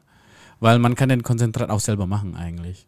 Voll easy, also allein Ja. eine günstige Rosin-Presse, so Werbung hin oder her, Ja. eigentlich ungern, aber Graveda, so die bieten für unter 200 Euro eine super solide Presse an, so wo man voll günstig sich ähm, Konzentrat machen kann und ich finde es so erstaunlich, weil Rosin, da bin ich auch ein bisschen leidenschaftlich, das ist halt Okay. so ein bisschen mein Steckenpferd-Thema gewesen als Blogger, Okay. weil ich habe halt viel geschrieben damals, als ich angefangen habe bei Cannabis Rausch, aber man sucht dann irgendwann so nach dem Next One Thing, weißt du, was ich meine? Ja, richtig. One Next Thing und will irgendwie ein bisschen was unique bringen, so irgendwas, was sonst jetzt noch niemand so gebracht hat. Ja. Und da hatte ich so geguckt, oh, Rosin, so trendmäßig, das kommt irgendwie in den USA gerade ganz gut mit Glätteisen. Mhm. Hat es dann selber probiert, auch mit Glätteisen, wie viele andere auch in Deutschland schon. Ja, das stimmt. Aber ähm, ich wollte es weiter treiben, weil ich war viel zu leicht für ein Glätteisen und das Gewicht von meinem Körper hat quasi gar nicht so richtig ausgereicht, Mhm. ähm, um das Glätteisen richtig runterzudrücken. Und dann hatte ich mir eine Rosin-Presse aus China importiert, weil das war das einzige Land, wo ich eigentlich was herbekommen konnte für einen guten Preis. Ah, okay. Noch so mit dem Gedanken, ja, mal Wholesale machen. ähm, für 650 habe ich dann eine Top-Presse bekommen, ähm, Mhm. plus 100 nochmal für den Zoll, aber alles super gegangen, super Nice. Profis sind ja die Chinesen und sowas, also Nice. echt Hut ab. Ähm, und hatte dann quasi Rosin gepresst und ich fand es so cool. Ich habe dann so einen Artikel drüber geschrieben mit ähm, Formeln, wie man so die Druckeinheiten oder sowas umrechnet, weil ja vieles aus den USA kommt Ja. und da ja kein metrisches System vorherrscht, was ja alles so ein bisschen ver äh, verschwert in der Ja. Berechnung von, von Sachverhalten. Und bei Rosin kann man halt auch ein bisschen rechnen so. Ja, auf jeden Und, Fall. Ähm, ja, war ein mega Thema auf jeden Fall. Rosin damals, Konzentrate. Ähm, ich habe dann beim Deutschen Handverband auf der Cannabis-Normalkonferenz sogar einen Vortrag über Rosin gemacht, was Ah. eben noch recht neu war. Und es ist schon echt super interessant so mitzuerleben, wie auch Leute, die sich stark für Sachen interessieren in der Szene, Mhm. wie man Ah. die dann bei sowas immer abholen kann irgendwie oder wie Ja, man sich da stimmt. trifft. Das weil ähm, die catcht, manche catcht schon und es ist witzig, dass man die gleichen Gesichter dann auch oft wieder sieht, sage ich mal, die interessiert sind an sowas wie einen Vortrag oder einen Artikel über so ein bisschen Themen, die ein bisschen polarisieren und Mhm. Ich mag das echt so an, an der Szene. Die Leute interessieren sich auch für Politik und sowas und für Ja. Reglementierungen in der Lebensmittelindustrie. Also Ja. das sind total gebildete Menschen, weil die so viele Regeln im Blick haben müssen für ihren eigenen Lebensstil einfach schon. Weißt Viele, ja, viele unterschätzen ja wirklich, wie viele kluge Köpfe in der Cannabisbranche arbeiten. Ne? Also die sind wirklich keine dumme Leute, die da arbeiten. Hat Doktoren, so Doktortitel, Ja. Doktortitel, Doktortitel. Ja. Politikwissenschaftler oder BWLer natürlich gibt es auch. Also ich bin ja auch BWLer zum Beispiel. Äh, dabst du denn eigentlich öfter? Äh, nein. Okay. Weil? Also ich habe jetzt ein Jahr lang wirklich krass mit Tabak geraucht. Okay. Joints. Und davor militant pur so. Nein, nein, raucht mal alle mit pur. Und mein Freundeskreis hat dann auch immer mit mir pur geraucht. Also, Militant pur ist ein geiler Ausdruck. Also wirklich Militanz. Das kriegen bestimmt Leute richtig auf den Sack auch. ähm, aber ja, irgendwann hat es dann angefangen in Mallorca, dass mein Geschäftspartner mega geiles Hasch hatte, am Start hatte und ja, das raucht man halt auch mit Tabak. Vor allem, wenn man jetzt im fremden Land ist und die lokalen Grasqualitäten eher schlecht als recht sind. Ja. So, dann Und sagt- wenn man auch keinen Bon hat oder so, weißt du? ah, das rauche ich sowieso nicht.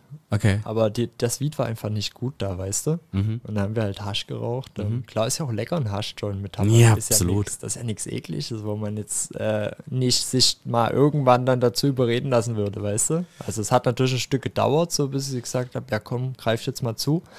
Aber irgendwann habe ich es gemacht und dann war ein Jahr Tabakrauchen. Und ich habe so viele Joints wie nie geraucht und hatte das schon früher wirklich so ein bisschen ähm, im, im Gefühl, ey, die, die Leute, die Kumpels von mir, die äh, im Freundeskreis, die jetzt mit Tabak rauchen, die haben ja viel mehr Bock auf neue Joints, weißt du? Also die legen viel, Absolut. Ich rauche auch mit Tabak viel mehr Joints als ohne. Weil das, das Ding ist auch, pure Joints schmecken halt im Endeffekt auch wirklich nicht so gut. Also muss man Naja, schon wirklich ein Also, gutes Gefühl dafür bekommen. äh, ja, genau, also je nach-. Je nach Blüte. Und ich muss erst ganz ehrlich sagen, wir haben uns ja äh, drüber auch äh, kurz unterhalten heute. Ich finde, ich habe, also ich habe mal richtig geraucht und dann nicht mehr. Und dann habe ich äh, Weed nur pur geraucht. Und dann jetzt aktuell viel öfter mit Tabak halt so, ne? Und ich muss ganz ehrlich sagen, es schmeckt mir. Also wenn die Leute sagen, ja, das ist doch voll bitter oder wie auch immer, ich sage, ja, so ist auch schwarzer Kaffee und ich trinke schwarzen Kaffee halt, ne? Ich trinke Ka- Kaffee eigentlich meist nur schwarz. Und, oder halt wie Bier sozusagen. Es ist halt bitter. Ich meine, bitter ist ja nicht unbedingt, äh, was nicht schmeckt, sozusagen. Es ist je nachdem, was du, was du trinkst. Oder was du, was du, was du isst zum Beispiel. Was du gar nicht schmeckst. Genau, also wenn man bitter mag, dann, dann mag man auch auch so Tabak. Aber ich weiß, es ist natürlich schlecht so, ne? Aber hey, Aber darf ich eine Frage stellen? gerne, immer. Wie kam das mit dem Mehrtabakrauchen? Durch ähm, quasi Freundeskreis oder Umfeld, ähm, Kontakte, mit denen man abhängt und jeder raucht dann halt mit Tabak und man gewöhnt sich deswegen dann auch doch irgendwann an? Oder war das von dir eine super bewusste Entscheidung? Das war ausschließlich so, wie du beschrieben hast. Also meine Smoking Buddies haben dann meistens immer äh, Tabak geraucht. Und ich will dann natürlich auch kein Arschloch sein und sagen, nee, ich rauche das nicht. Weißt du, ich meine, wenn das in einer Runde geraucht wird, dann rauche ich natürlich einfach mit, auch mit Tabak. Ich meine, ich habe ja nichts dagegen. Und dann habe ich immer natürlich zu Hause immer mit, äh, also äh, pur geraucht dann. Also das heißt, ich rauche, ich habe mit Tabak unterwegs geraucht, aber zu Hause immer pur. Und dann irgendwann hatte ich dann auch weniger Weed halt, ne? Und, dann, und dann muss man einfach so mit Tabak mischen. Und dann hat mir einfach geschmeckt, tatsächlich. Ich meine, ich habe es ja geraucht. Also das ist ja naheliegend, dass es dann wieder äh, süchtig wird. Man sagt ja, ein Raucher wird nie aufhören, die machen nur Pause. Also wirklich. Also da ich, kann wirklich was dran sein. Also ich bin Ja. jetzt bei Tag 8. ich meine, ich habe ja auch sechs Jahre dann ohne geraucht, ne? Ohne Tabak. ja. Also von daher äh, auch lang. Deswegen sage ich ja, aufhören ist ja wirklich, wenn du jetzt morgen sagst, ich, ich rauche nicht mehr und dann bis zum Ende deines Lebens kein Tabak mehr. Also das ist ja Absolut, aufhören. ja. Aber ich finde, wenn man schon mal den Genuss äh, an, an Tabak äh, gefunden hat, dann hat der irgendwann nach 10, 12 Jahren, wahrscheinlich, wenn er gestresst ist oder so, ach, jetzt brauche ich doch ein bisschen Nikotin, so, weißt du? Also du magst auch diesen Nikotin-Kick, oder? Ähm, sehr ambivalent, muss ich sagen, Okay. weil ähm, der Nikotin-Kick, der ist nicht so wirklich aktivierend, sondern ist eher so ein bisschen was Dämpfendes und biochemisch ist auch so, dein Dopaminvorrat wird halt von einem aufs andere Mal ziemlich schnell ausgeschüttet beim Nikotinkonsum. Und bei Gras ist es eher so ein bisschen retardiert. Also es wird über einen längeren Zeitraum in kleineren Dosen abgesondert oder Okay. ja, ausgeschüttet, das Dopamin. Das heißt, ähm, diesen High-Zustand, den ich hatte, wenn ich pur geraucht habe, den hatte ich eigentlich nicht mehr. Also wirklich diesen vier, fünfstündigen Rausch. Ähm, Richtig. dieses High nach einem puren Joint, sondern es war dann eher so krasses Gefühl, diesen Joint zu rauchen. Also die wirklich, wo das Nikotin reinkommt, ab dem Moment, weil das Gras, das, das merkt man eigentlich erst später von der Wirkung. Aber wenn man einen Zug nimmt und man fühlt eine gute Wirkung, dann ist es halt gerade das, das Nikotin und das hat mich halt immer, immer befriedigt in dem Moment. Deswegen Ja, hab ich das stimmt. extrem viel und gerne geraucht, viel mehr Weed. Und jetzt wirklich von einem aufs andere Mal habe ich halt irgendwie den Schluss gefasst, weil halt Vincent Weed auch ähm, gerade aufgehört hat oder so in seiner Story ähm, Ja. dokumentiert hat. Und ja, irgendwie hatte ich dann gedacht, ja, dieses Tabak, ich habe mich irgendwie auch ein bisschen schlapp gefühlt und irgendwie blutkreislaufmäßig nicht so gut mit Tabak, muss ich wirklich sagen, da habe ich so gewisse körperliche Veränderungen in meinem Atembereich äh, schon festgestellt. Ich auch. Oh, krass. Also ich gehe ja wirklich fast täglich eine Stunde spazieren, so morgens halt, ne? Meistens. Mhm. Und ich merke es natürlich, wenn ich Tabak rauche, dass, äh, dass die Luft einfach ein bisschen schneller so ausgeht. Also deswegen muss ich echt mal gucken, so. so. langfristig. Aber aktuell genieße ich es einfach. Irgendwann höre ich auf. Das ist was zum Genießen, so ja. Tabakjoints. Oder ja. zum gerne konsumieren. Ja, nach, dem, nach, nach einem scharfen, leckeren Essen zum Beispiel und dann ja. mit so einem Softdrink mit Kohlensäure und dann das brennt nochmal so die, die Schärfe und dann ziehst du dann an diese Tabak äh, gemischten mh, mm, Joint sozusagen. Und dann kommt dieser bittere, ey, das ist für mich immer ein Genuss nach dem, äh, nach dem Essen. Deswegen esse ich auch immer so gern scharf. Aber ich weiß, irgendwann muss ich echt aufhören. Aber der krasseste High, den ich hatte, war tatsächlich äh, nur pur mit einem Bong. Und das war so einen halben Gramm oder so einmal reingezogen, da war ich dann einfach weg und dann ich habe dann äh, im Zimmer geschlafen und ich dachte, ich habe Outdoor geschlafen, Mann. Irgendwie war der Wind irgendwie so, so obwohl es kein Wind war. Aber ich habe mich wirklich so gefühlt, als wäre ich draußen auf der Wiese geschlafen. Krass. Total abgefahren. Ja. Hast du immer einen guten äh, Trip eigentlich oder auch einen schlechten Trip? Also gerade vor allem beim Tabak sind, das erste Mal, wo ich ähm, Hasch geraucht hatte, mhm. das war halt mit Tabak, so mit meinen Buddies von früher halt, eben mit um die 18 Jahre alt und im Sommer am See mit einer Bon. Jemand hatte einen Bon und der, wollte, der hat gar nicht mitgeraucht, weil halt der hatte Schiss. Wenn er nach Hause kommt, seine Ma hat es immer erkannt so, und der hat gesagt, oh, ich rauch nicht mit. Also voll krass, der hat uns aber dieses Erlebnis quasi ermöglicht. Ja. Und ähm, haben wir halt alle dann die Tabakbomben gehittet und ich war jedes Mal so Sternhagel, wirklich. Also, also langsam narkotisiert und äh, also wie so ein, kennt ihr das, wenn so ein, in einem Film eine, eine Granate explodiert und dann ist so dieser Ton, dieses erstmal so alles super gedämpft und so ein, ja, ja, ja, ja, so ein hoher ich, Ton und dann kommt langsam wieder erst die ganzen Stimmen klar und weißt du sein? Eine Freundin von mir, äh, sie ist ja mal umgekippt ja, und so sie, wie kurz vorm Umkippen, genau so. Sie hat genau erzählt, dass es so, wie du beschrieben hast, das war genau so, was sie erlebt hat. Deswegen ist es so krass.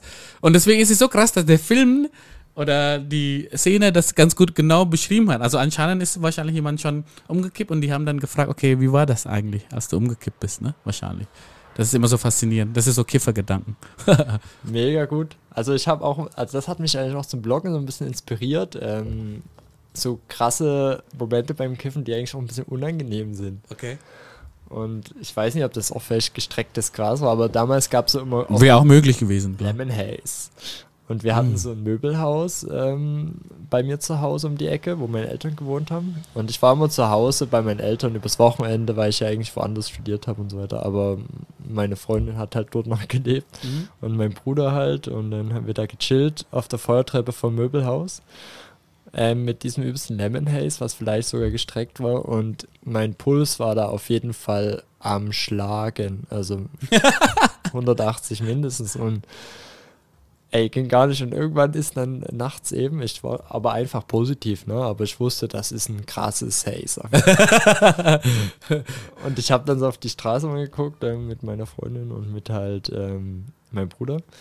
Und dann ist irgendwann so die Polizei auf der Straße, so eine große Bundesstraße eben, angehalten. Oh, und shit. da ist so ein leeres Industriegrundstück, wo noch gebaut werden kann, weißt du? Wo nur so ein ganz spärlicher Baum steht. also man sieht da alles. Und der ist da ausgestiegen, hat sich halt so umgeguckt und direkt wo zu uns halt auch ein bisschen auf die Feuertreppe. Und ja, ich war halt mega paranoid. Ich hatte noch nie Polizeikontakt, aber hatte immer mega Schiss halt. Und ja. Kontrolle schon oft irgendwie. Und ähm, nie was passiert. Das finde ich krass. Dann hat der Polizist einfach an den Baum gepinkelt. auf dem freien Feld. Okay. Hat sich dann wieder umgedreht zu uns, hat wieder mega geguckt aber uns auch gar nicht realisiert, bin ich mir sicher. Ist dann abgedöst. Aber dieser Moment, dieser Herzschlag schon alleine und dann nochmal diese wirklich gepushte Aufregung durch das Polizeiauto, was direkt Absolut. unter uns auf einer Bundesstraße nachts, die übelst leer ist, wo sonst aber LKW und Autos übelst, übelst viele rumfahren, ne? Ja. Wo die einfach so anhalten und da ja, ihr, ihr Ding halt machen. Also das sind solche Erinnerungen, die werden nicht vom Gehirn einfach so gelöscht. Ne? Das ist krass, ja. Also das, das prägt auf jeden Fall äh, einen. Du warst ja in vielen Ländern auch unterwegs, die, wo, wo die Kana-Kultur so groß ist. Ne? Was ist jetzt deine Meinung nach? Wo gibt's der beste Weed? Ich denke in Deutschland. Wirklich? Uh. Ja, ich denke, ich denk, ich denk, dass deswegen, weil die Deutschen, die sind wirklich ein sehr, sehr gründliches Völkchen, sage ich mal. Mhm. Ohne dass ich jetzt, ich bin wirklich jetzt kein stolzer Deutscher oder sowas, Mhm. aber die sind schon echt ein organisiertes Völkchen und die haben schon in vielen Ländern auch die Managementposition im Griff von Firmen und so weiter. Mhm. Ähm, die machen das einfach, weißt du, die kriegen Sachen geregelt, so in Time und so weiter, in, in Budget. Also meinst du deutsche Wertarbeit dann in, der, in, der, in, der, in dem Gras, meinst du? Sowohl im Management von Sachen als auch in der, genau, dann wie man es macht. Also Mhm. die Deutschen sind vielleicht in vielen Sachen wirklich Feinmotoriker. In Absolut, denen die absolut. Sachen angehen, also sehr präzisionsorientiert. So ein bisschen wie Schweizer ist es so sehr detailverliebt in manchen Dingen, gerade so in Baden-Württemberg. Mhm. Ähm, also ich habe ja bei Lidl gearbeitet, Mhm. in, in, in der Unternehmensprüfung intern und Mhm. ich habe ja da die Abteilung geprüft und es ist schon krass, wie professionell das alles abläuft. Also da Absolut. muss man schon als, als Prüfer quasi ganz schön tief bohren, um da überhaupt irgendwie was finden zu können, was man denen ankreiden kann, so dumm das klingt. Ja. Und ich denke, in Deutschland gibt es halt auch viele Homegrower, die ganz normale Jobs haben oder die einfach auch in so einem Umfeld groß geworden sind, vielleicht durch Eltern oder sowas. Stimmt. Ähm, und wenn die Pflanzen growen, bin ich einfach überzeugt, die, die treiben es auf die Spitze.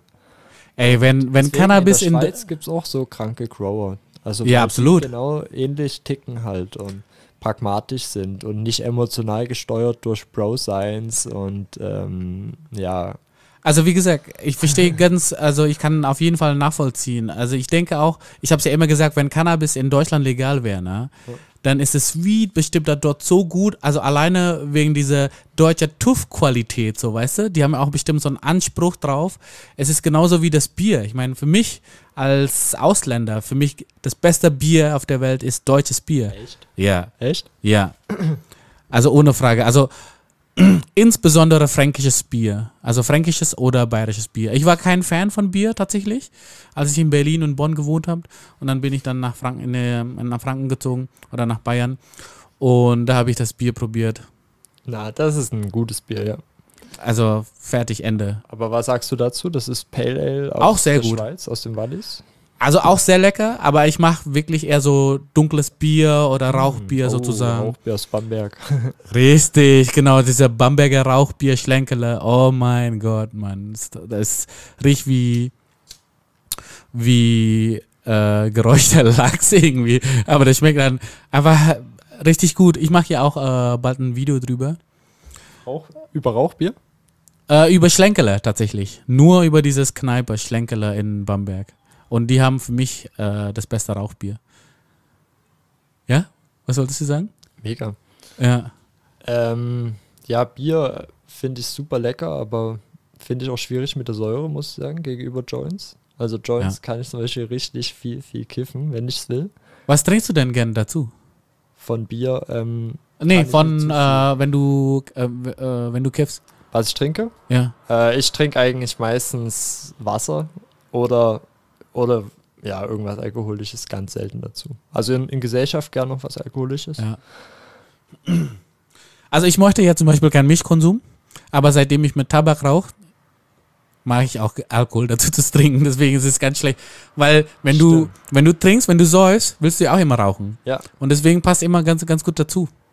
Deswegen kann ich jetzt zum Beispiel einen guten Wein, äh, einen Weißwein vielleicht, weil ich mag es gerne kalt, wenn ich äh, rauche, kann ich Wein mit Joint zum Beispiel genießen. Aber am liebsten trinke ich ganz normal so Fanta oder Ah, Dr. Pepper oder so, solche Sachen. Also einfach wirklich äh, so Diabetes in einer Dose. Also, das sind so meine Lieblingsgetränke. nee, das, das kann mein Körper, glaube ich, auf Dauer nicht so. Nicht nee, das trinke ich auch nicht. Aber so, was du gesagt hast, so Wasser, das trinke ich am meisten. Also, wenn ich kiffe. Ich trinke wirklich auch nur Wasser. Und äh, Zucker oder so trinke ich sehr selten. Ich finde ähm, auch eigentlich Milchkonsum, ja, habe ich auch so eine ambivalente Meinung. Ich habe halt ziemlich lange keinen Alkohol getrunken, Mhm. bis ungefähr vor einem Jahr, wo ich dann in Spanien war. Aber ja, da hat es dann irgendwie so dazugehört. Also da ist man halt. Ja. Man am kann in Frankreich auch nicht ohne Wein leben. Party machen. Und wir hatten halt eine Finca, wo immer so Leute da waren von außerhalb, die uns auf alle möglichen erdenklichen Arten unterstützt haben oder da einfach ein bisschen Urlaub gemacht haben. Weil halt genug Platz für alle da war, sag ich mal. Und Mhm. ja, da trinkt man halt dann, weil es einfach wieder wie beim Tabak halt so gesellschaftlich eher akzeptiert ist. Ja. Und weil manche auf Purrauchen oder sowas dann vielleicht auch gar nicht klarkommen.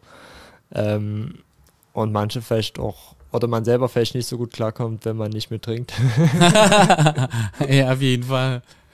Oh, also, du bleibst jetzt erstmal in der Schweiz, ne? Kann ich so sagen? Mal schauen, oder? Okay. Also, Also- ich, also ich plane es auf jeden Fall. Ich Okay. habe ja noch einiges ähm, vor jetzt für die nächste Zeit. Erzähl. Projekten. Erzähl. Oder erzähl, Also- was du erzählen kannst. Oder darfst. Genau, auf jeden Fall wird es noch ähm, ausweitendere Grow-Projekte geben und Für andere Firmen sozusagen, oder? ähm, für uns selber. Okay. Also ja. wollen wirklich aber halt mehr und- noch größer ähm, growen, cool, cool. großen Maßstab oder genau einfach viel ausprobieren. Darauf kommt es vor allem an. Jetzt Mhm. nicht eine Riesenanlage, sondern wirklich erstmal viel austesten, weil viele Sachen funktionieren gut, aber trotzdem ist nicht ganz klar, was funktioniert am besten unter den gegebenen Umständen. Von daher müssen wir halt ähm, noch ein bisschen ein paar Testläufe machen, weil wir jetzt unseren Grow erst anfangen. Das machen viele Grower tatsächlich auch in Österreich jetzt, was CBD angeht. Weil, ja, die testen erstmal noch viel. Also das heißt, in zehn Jahren wahrscheinlich haben wir noch ein besseres Produkt, oder? Also was, was krass ist zu dem Thema, in der Schweiz seit Tag 1, wo es ähm, auf den Markt kam, das CBD, die Blüten, gab es eine richtig krasse Sorte mit hohem TH, also mit hohem CBD, ja. so 20%, 25%, aber nur 1% THC. Aber es Okay. gab noch gar keinen Markt dafür, weißt du, ich meine? Ah, also verstehe. Das ist ja mega strange, das irgendwie aus Ja. den USA. Aber da hatte vielleicht jemand gedacht, okay, die Chancen stehen gut, dass in irgendeinem Land 1% THC legal ist, aus den und den Gründen. Haben die vielleicht spekuliert, so eine Sorte gezüchtet, irgendwo in Oregon oder sonst wo in den USA. Und dann, als die Schweiz gesagt haben, äh, Chaka, wir machen jetzt 1% THC legal, ähm, gab es schon direkt die Sorten. Also das muss man sich ja mal auf der Zunge zergehen lassen. Okay. Da gab es schon die krassen Sorten, die dann, ähm, wie, ja, ich weiß jetzt nicht genau die Namen, aber wo jetzt Harlequin und so weiter Ja. zumindest davon abstand oder wirklich das war, die haben seit Tag 1 gute Werte gebracht. Das heißt, der Markt Okay. der wird schon besser auf jeden Fall. Also man kriegt sogar fast so halbjährlich, kriegt man so einen Schock, wie viel besser die neuen Produkte sind Mhm. als die alten. Das ist echt erstaunlich, finde ich. Gerade weil die Genetiken sich wahrscheinlich verbessern. Mhm. Aber das ist auch ein bisschen slow, weil viele arbeiten ja auch dann mit Genetiken, die sie einmal für gut finden, eine Weile. Machen da Mutterpflanzen, Stecklinge und so weiter. Und ähm, das ist immer so ein Auf und Ab mit der Innovation, schätze ich, wie gut die neuen Sorten jetzt immer kommen. Also ich meine, die, die, die Derb, äh, die Wax, die ihr habt heute, die, die ich probiert habe, die waren auch richtig gut halt, ne?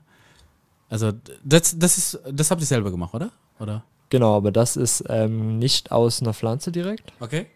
sondern das ist halt, also wir haben nicht die Pflanze dafür gegrowt, weil wir growen ja noch nichts, sondern das ist halt wirklich ähm, aus natürlichen Zutaten, wie zum Beispiel CBD und Terpenen, Mhm. also von Pflanzen gewonnenen Terpenen, ist es quasi ähm, ein händisch zusammengemixter Dab. Also das ist ein Produkt, das geht auch nicht wirklich industriell herzustellen, weil Terpene, die sind so niedrig konzentriert, davon braucht man nur sehr wenig. Mhm.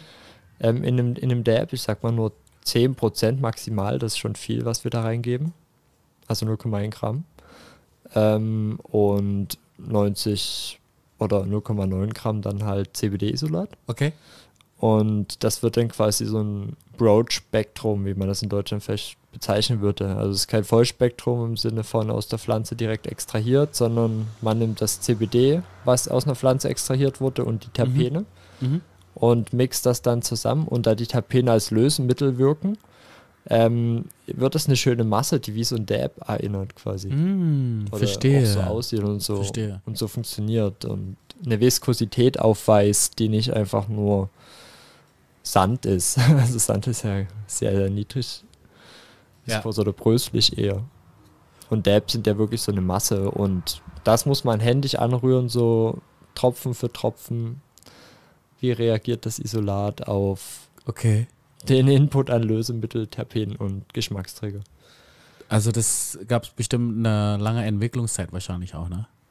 Ähm, es geht, also ich denke, was man halt sagen kann, das ist nichts, was sich irgendwie dann skalieren lässt, gut, weißt du? Verstehe. Also okay. das ist einfach, in jedem Produkt steckt, äh, in jedem einzelnen Produkt steckt wirklich die Passion drin, sag ich mal, Mhm. oder die Leidenschaft, sich die Zeit dafür zu nehmen, das wirklich genau abzumischen, wie gut das, wie bei einem Kuchenteig. ja. Manch, oder bei einem Brotteig. Manchmal Ja. entscheidet eine Handvoll Wasser über die richtige Konsistenz des Teiges. Und so ist halt auch bei einem Okay. Dab. Und das ist geil. Aber wie fandst du die Wirkung? War auf jeden Fall mh, normalerweise, wenn man so CBD raucht, also gestern zum Beispiel habe ich Ja. gemerkt, ja in Zürich, weil ich äh, unterwegs war und äh, ich hatte nur CBD dabei. Ich muss sagen, dieser gute Laune-Schub und so, das habe ich bekommen tatsächlich. Ja. Von, von dem CBD-Weed und das war erstaunlich, ohne diesen High, muss ich sagen. Und das fand ich halt ziemlich gut. Und heute war eben dieser wie so ein Endorphin-Kick, so zack, irgendwie. Und das fand ich halt ziemlich. Wie so ein äh, Shot, oder? Wie ein Shot, ja, genau. Und vor allem, wir haben ja auch gemacht, bevor wir die Sachen gedreht haben. Und das hat mich echt ziemlich gut beruhigt, muss ich sagen. Und deswegen, ich werde es auf jeden Fall äh, gucken, dass ich in, dem, in der nächsten Zeit so debbe.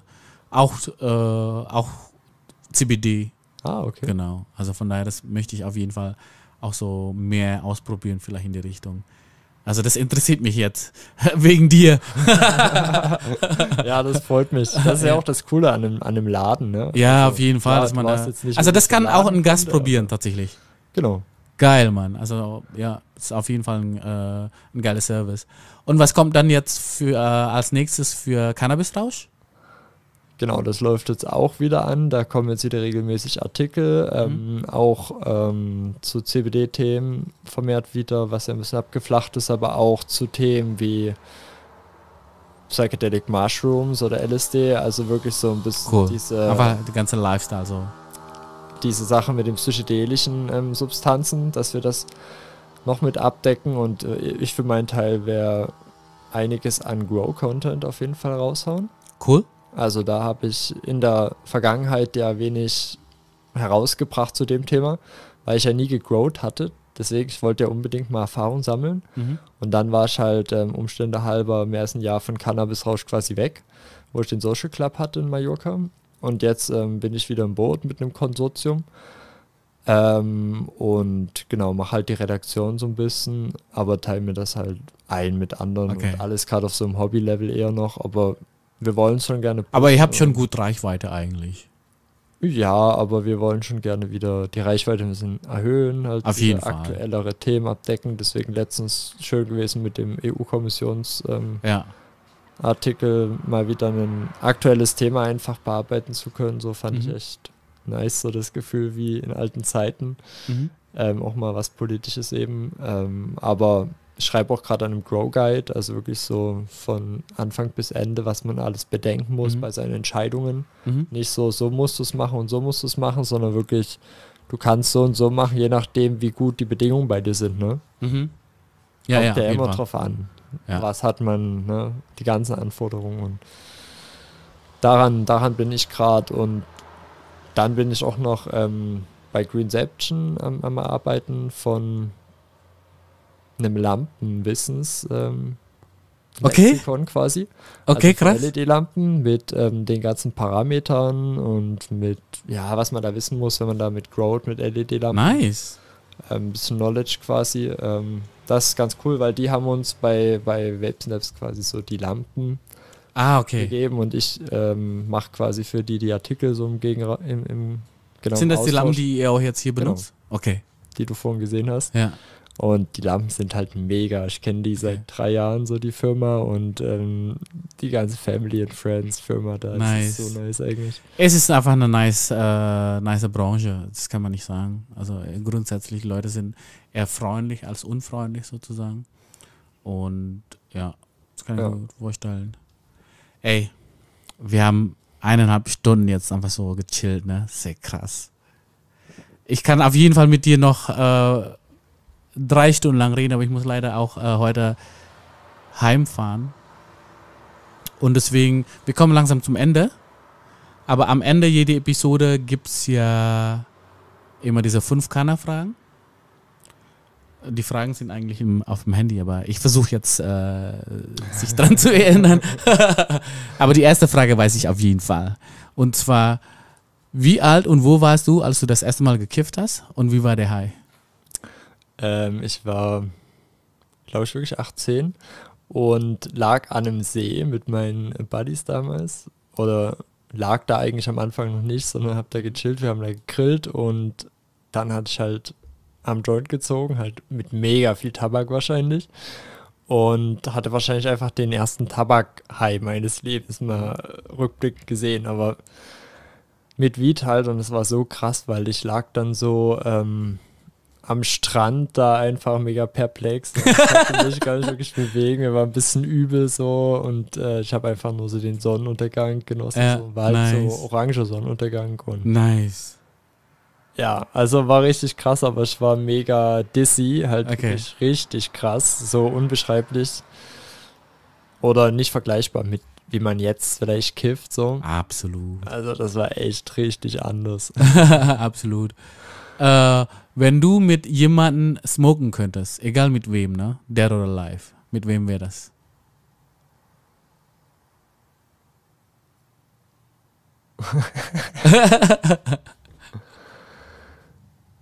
Das ist echt eine interessante Frage, aber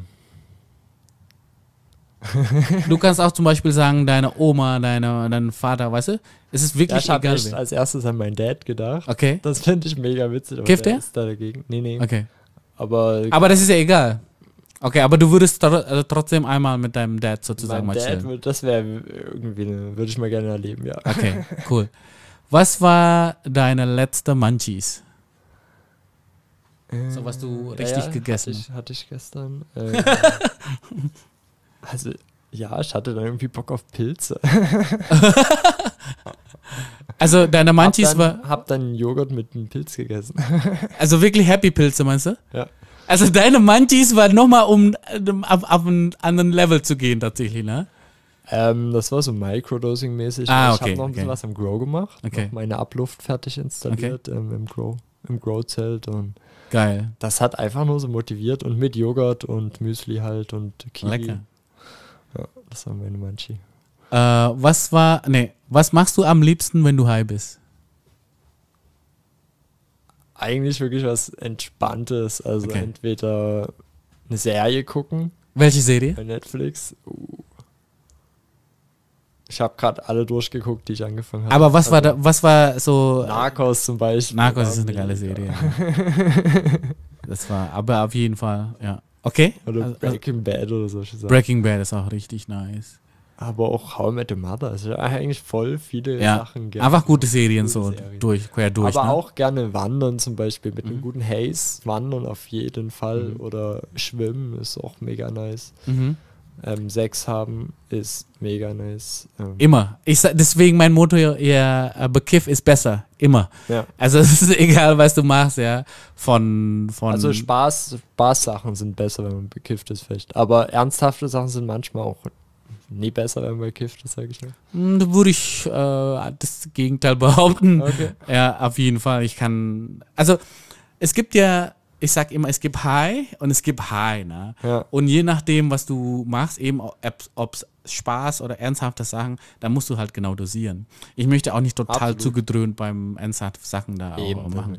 Aber wenn ich jetzt zum Beispiel von einer ernsthaften äh, Gespräch oder so zweimal ziehen, Das entspannt mich ein bisschen nur. Also das haut mich ja nicht weg oder so. Und deswegen, das genieße ich. Letzte, letzte Frage. Welche Emojis würdest du verwenden, um den Hai jetzt zu beschreiben? In diesem Moment. Ähm, ich glaube, diese lilane Zauberkugel. okay, cool. Ja.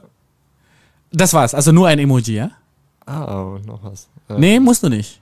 Ja, doch, diese reicht ja. Diese reicht, okay. Ein Emoji sagt alles, ne? Vielen lieben Dank, Mann. Und ich hoffe, wir sehen uns dann äh, bald wieder. Und echt, vielen Dank äh, für die Gastfreundschaftlichkeit. Und Schweiz, ganz ehrlich. Ich komme bald hier wieder, auf jeden Fall. Mega, ich freue mich. Also, Ciao. ciao.